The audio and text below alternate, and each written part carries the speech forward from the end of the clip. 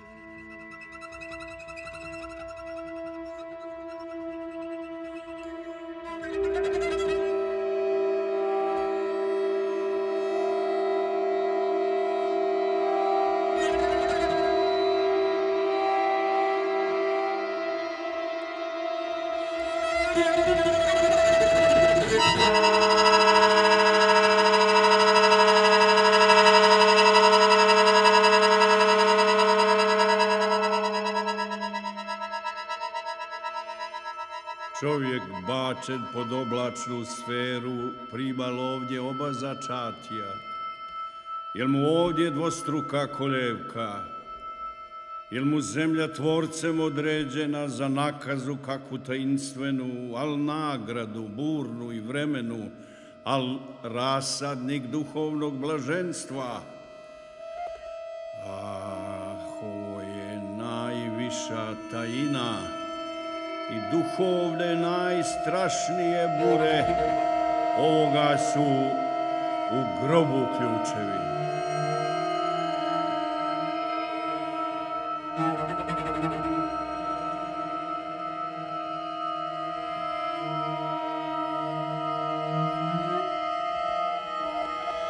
Koliko sam i koliko puta svod plavetni neba sveštenoga briljantnim zasijat sjemenom zaklinjao dušom zapaljenom da mi svetu otkrije tajinu.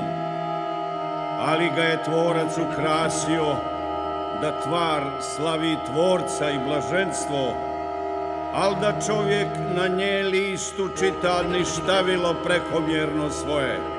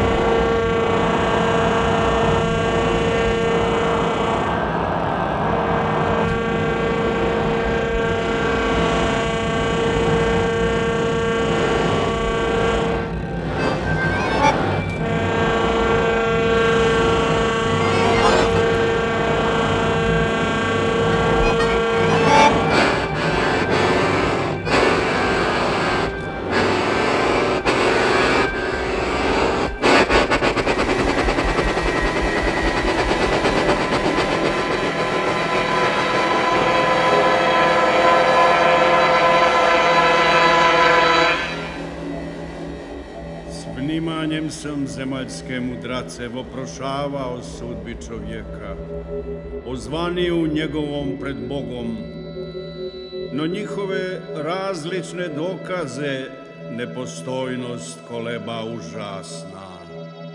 Sve njih misli najedno sabrane, drugo ništa ne predstavljaju mi dok kroz mrake žedno tumaranje, do nijemog jednog narječenija, do pogleda s brakom ugašena.